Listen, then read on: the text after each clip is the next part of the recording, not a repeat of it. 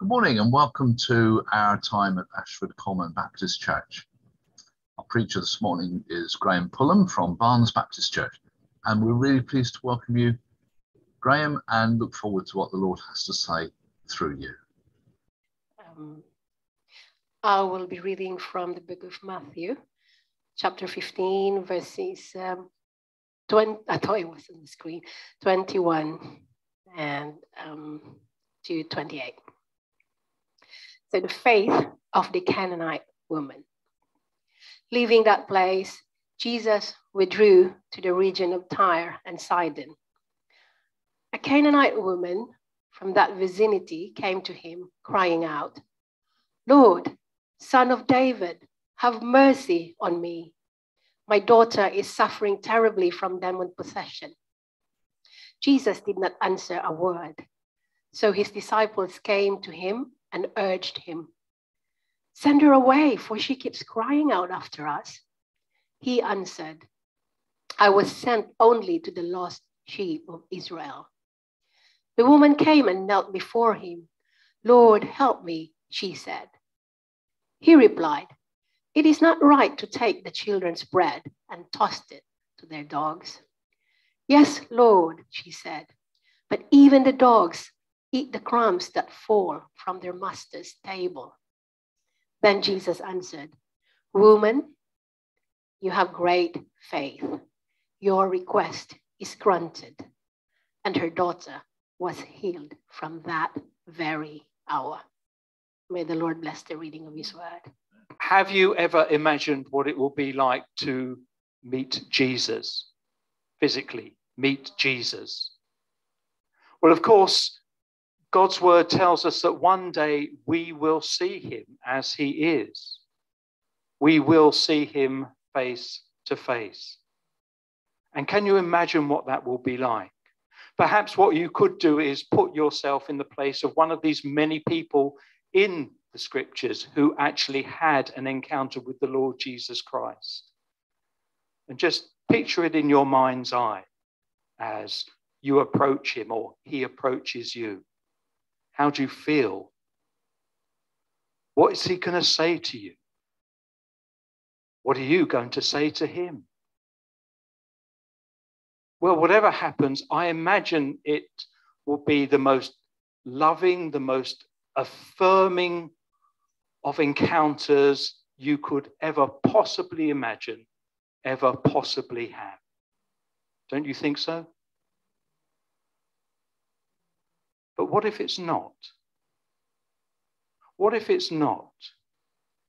What if you were to find yourself ignored by Jesus? What if he were to act as if he had no interest in you whatsoever? What when he does speak to you, he speaks in a very demeaning, even racist way. I'm busy.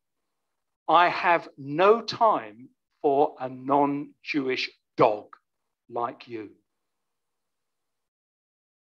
Imagine that. Now, how do you feel? Now, how do you feel about your precious, loving Jesus? Cold hearted, racist comments, nothing like you expected him to be. It amounts to the biggest, the deepest disappointment in your life. He you've heard so much about, he you have longed to encounter for so long, he you expected so much from. When it comes to it, when your moment comes, you find yourself ignored. You find him rude, even abusive. Well, hard words indeed. And this is certainly not Jesus as we imagine him to be. And yet, this is Jesus as he appeared some 2,000 years ago when he was encountered by this amazing woman. How can we make sense of it? How can we make sense of him? Well, perhaps the answer lies in knowing what this Canaanite woman knew. Something that you might well know yourself, or something you might not even realize you knew. What was it? Well, to answer that question, we need to look at this encounter once again, this somewhat disturbing encounter at two different levels. First of all, how things appear on the surface, and secondly, looking beneath the surface. First of all, how things appear on the surface. This encounter takes place on one of those few occasions when Jesus crosses over from the border of Israel, withdrawing from the crowds and the relentless pressure he's under day by day to the region of Tyre and Sidon, verse 21. You see, even Jesus, even Jesus needed a rest. Even Jesus needed a break. But no chance, no chance, because his fame had spread far and wide. And even here, a Canaanite woman from that vicinity comes to him crying out for help. Lord, verse 22, Son of David, have mercy on me. My daughter is suffering terribly from demon possession. Now, imagine how you would have felt if at long last it was your day off and you'd managed to get away from all the pressures of work, all the pressures of your ministry. You've been the focus of so many people's hopes, so many people's expectations, and not a little denouncement and opposition from the religious authorities. But now you've managed to get some time away with your friends, a time to enjoy one another's company, a time to enjoy some peace and quiet, to recharge the batteries, as it were, before you go back to work, before you go back to your ministry.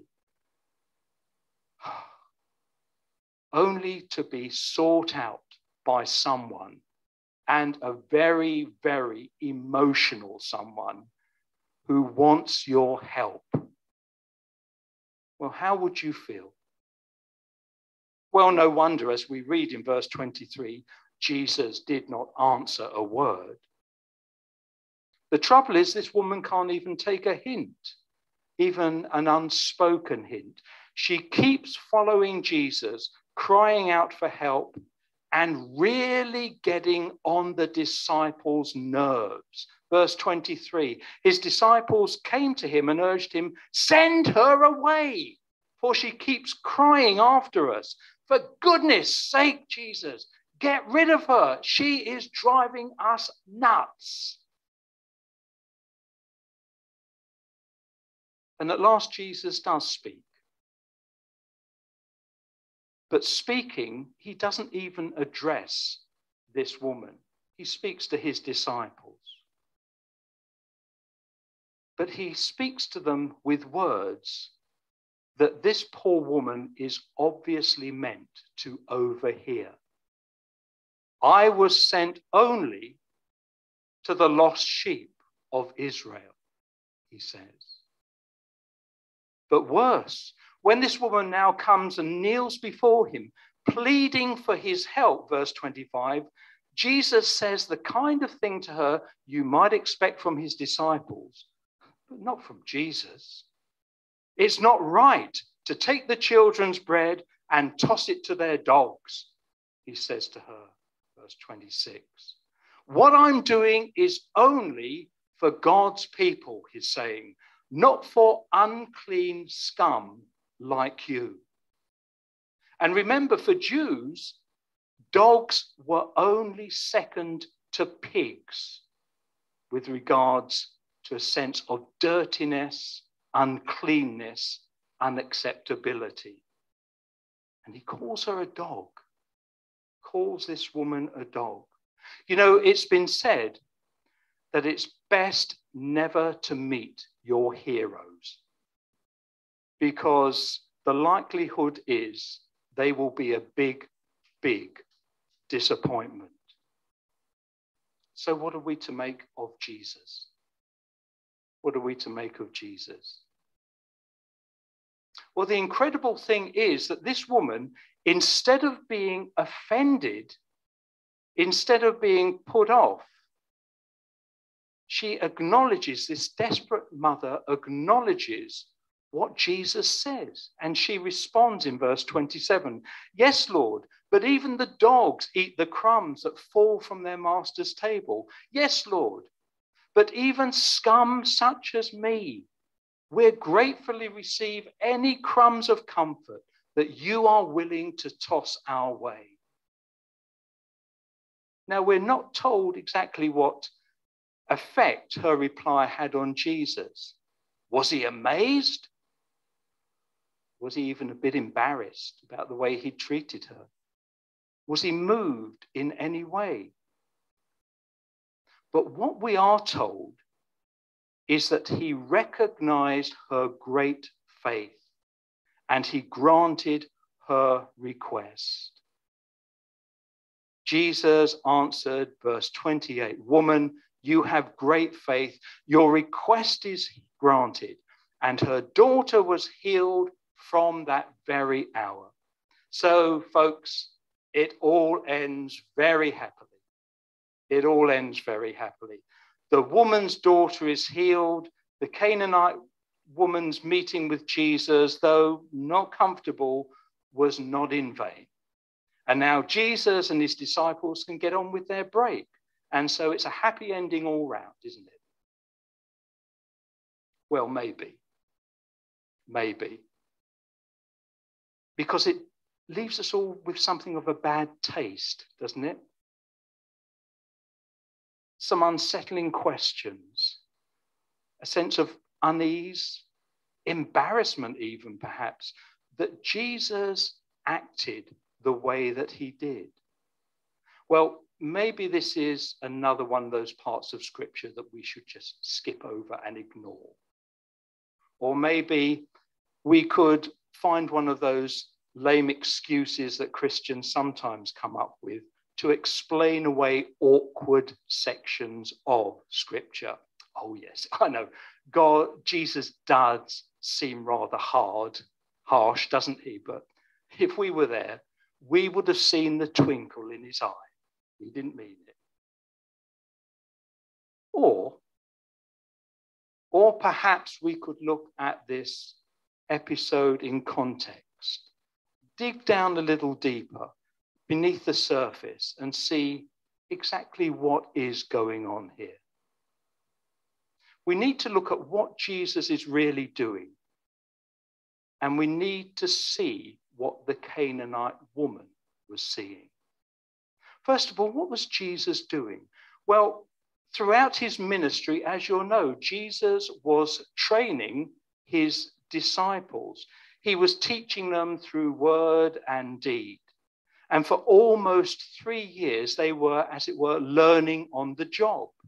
They were apprentices, learning and imitating their master, following the way, his way.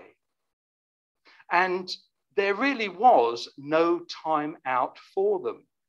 Even when they thought themselves to be having a sabbatical, to be on holiday, withdrawing to this region of Tyre and Sidon, even here, ministry must continue. For even here, an opportunity presents itself for Jesus to show his disciples how, contrary to much that they would have seen and heard from other religious leaders, how through Jesus, God's grace was now extending beyond the borders and the people of Israel. And this encounter with this Canaanite woman, this non Jewish woman, was an opportunity for him to show them that it was a gospel, good news, even for the Gentiles, even for the non Jewish world. And Jesus begins by treating this woman in a way that displays all the prevailing Jewish prejudices against non Jews. I mean, many rabbis in Jesus' day refused to even talk to women. So, what does Jesus do when she cries out? Jesus did not answer a word. Verse 23.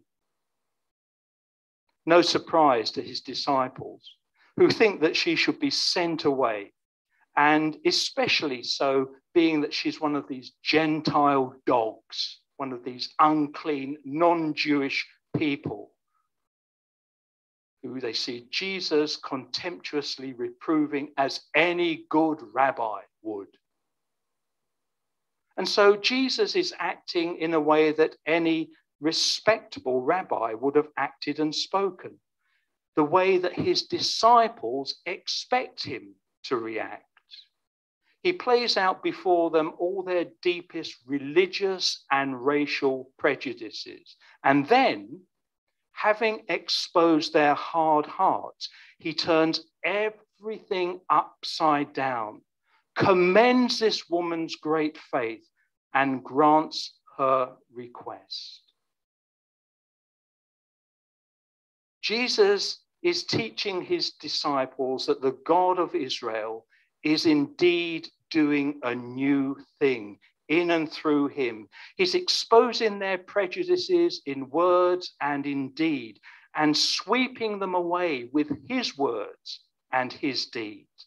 Because Israel has come, Israel's Messiah has come to be a blessing to the whole world. Even the dogs are to be invited into God's kingdom. And what about the Canaanite woman? What is she seeing through all this? Well, did you notice, as Esther read to us, did you notice how throughout this encounter with Jesus, she addresses him in the most respectful way? Lord, she calls him, respectfully, sir, even son of David, a messianic title, the hoped for savior of Israel. So she addresses him. How interesting it is that throughout this encounter, she expresses a deeper insight into Jesus than even his disciples had. Such is her belief, such is her compassion, such is her belief in his compassion and in his healing power because news of Jesus had spread far and wide, that she sees through these seeming rebuffs and this stereotypical Jewish prejudice. She sees through it all. The disciples see and hear one thing, but she sees and she hears something else. She has an unfailing confidence in Jesus despite all the surface appearances. She, as it were, believes in him. She has faith that the reality is really quite different. In other words, this woman knows her man. This woman knows her man. And so all this negativity just washes over her knowing as she knows and believing as she believes, so she receives. Woman, you have great faith. Your request is granted. So, finally, how can we learn from this encounter? This happy ending this extraordinary encounter? What can we learn from it? Well, first of all, I suspect that most of us have had hard times when things have not been going well. And when, despite our prayers and our pleas to God, there seems to be a holy silence when, as it were, Jesus doesn't answer a word. Times when we might even begin to wonder does he really care?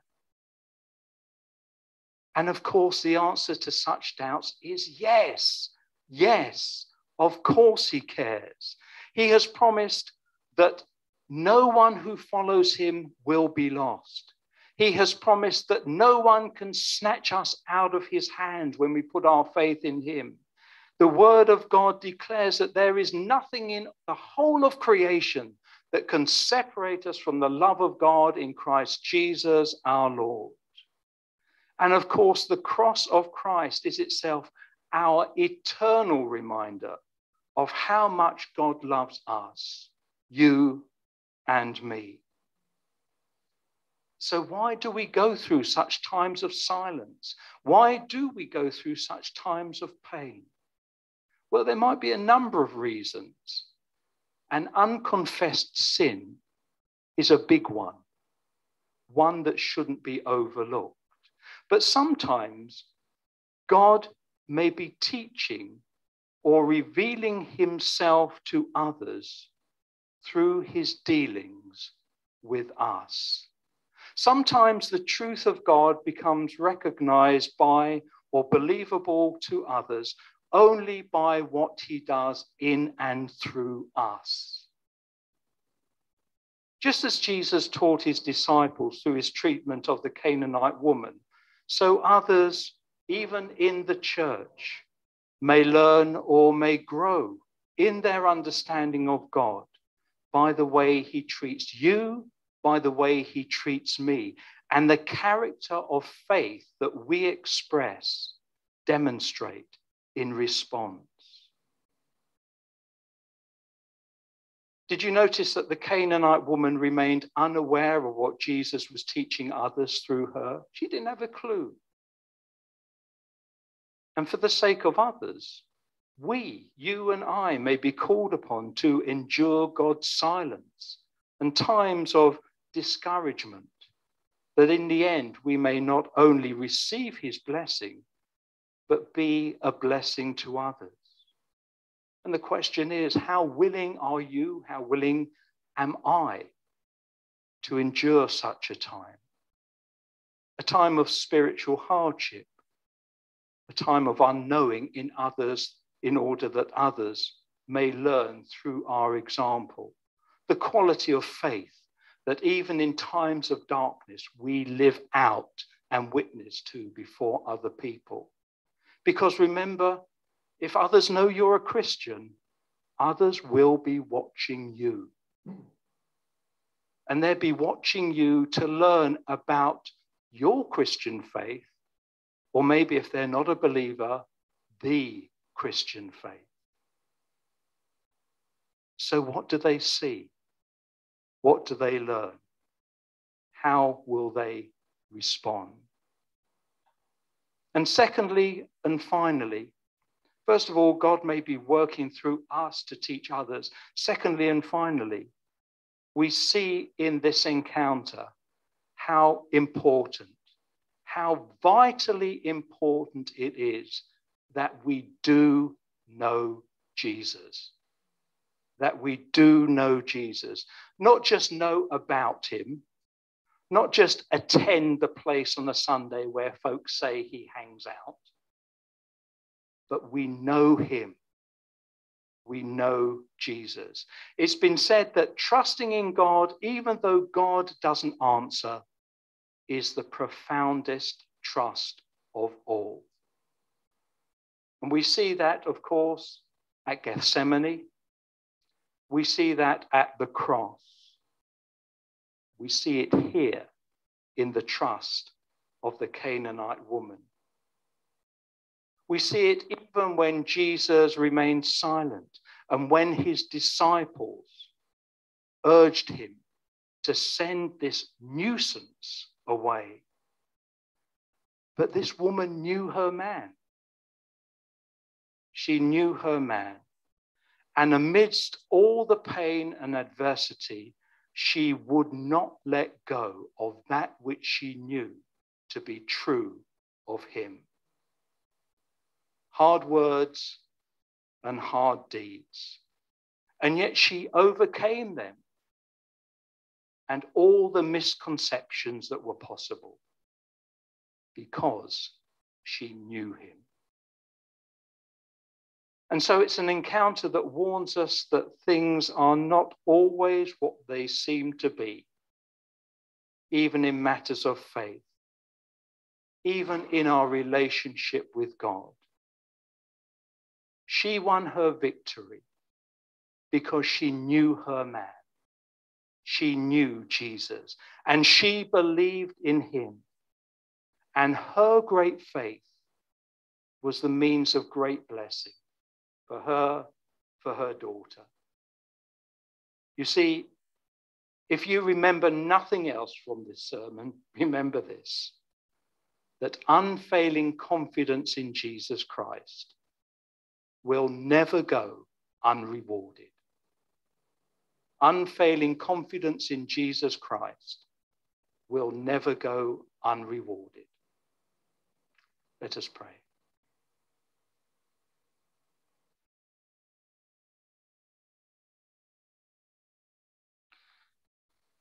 Gracious Heavenly Father, we thank you for your goodness to us, your love, your mercy, your grace.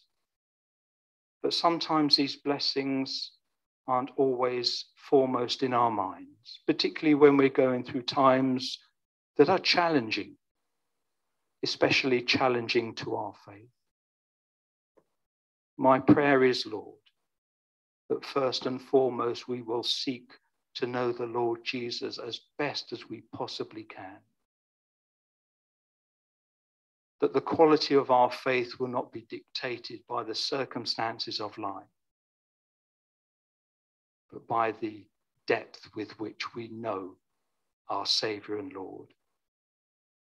For any who are going through troubled times, Lord, grant them, I pray, the strength, the affirmation they need, the courage even and may each one of us be an example to each other, Lord, of He who promises that whatever the situation may seem to be, however the circumstances may be, He will never let us go.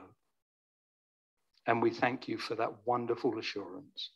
In this troubled world and in these troubled times, we praise you. Amen. Thank you for joining us today. We hope that you found that sermon helpful and would like to join us again on another Sunday.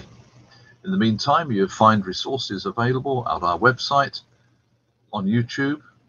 So please do take the opportunity to have a look. But let's hope to see you soon. God bless you.